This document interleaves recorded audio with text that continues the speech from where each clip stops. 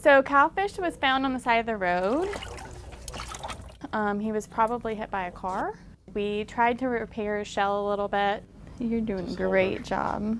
Right now, he's got that white ointment that's on him. That's an antimicrobial ointment to try to prevent any type of infection, and it also promotes shell healing. This will heal up nicely, especially in these snapping turtles. It'll um, kind of keratinize with like your fingernail. I love it when they're this Yeah, it's active. It's a good sign. Does that mean that you're ready to go before it gets cold? A lot of times when um, they're sick, they're not, aggr- uh, especially snapping turtles, which can be a rather more aggressive species than the other um, species that we see. Um, when they're sick, they're not as snappy. Um, so when they get to be snappy like this, that's a good indication that they're ready to be released. Medical science mixes with common sense to care for injuries in this most unique of hospitals. This is part of the reason why we do it. It's a way to go ahead and give back to our community since um, overpopulation is occurring. We're kind of taking more of their habitats, and so this is one way we can make up for what we're doing by healing the turtles and giving them a better life and putting them back in an area that's a little bit more safe. This is the Turtle Rescue Team at North Carolina State University's College of Veterinary Medicine. It's housed in a corner of the Veterinary Health and Wellness Center. Roughly 80 student volunteers make up the team, handling everything from intake and triage to care and release. Do you know how many stitches he had total? I didn't look at the chart. I think I got four out. I think there's one more right here. And this is Walking Stick. He's a box turtle. All the patients are named after other animal species.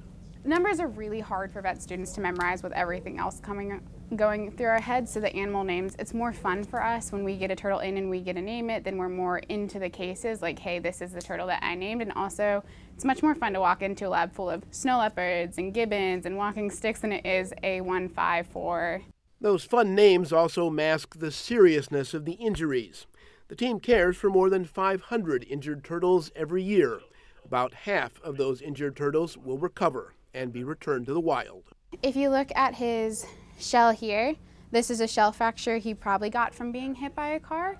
We fix that up. You can see there's two little holes right here. That's where we drill through the shell to bring the shell together. That way we can help it heal. And then if you look at his front, he's missing this leg. Sometimes when they get car strikes, they can get a little bit of nerve damage. And so what we'll do when we see that is we'll first treat him with an anti-inflammatory in case like the nerves are just damaged because there's swelling around them.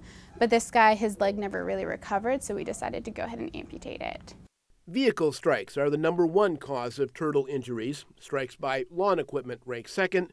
Dog attacks are number three. So they can totally live with three legs, and they do really, really well with three legs. Um, we can put him if you want to move Gibbon. So he's totally able to move if he decides he wants to. The turtle rescue team sees more and more injured turtles every year.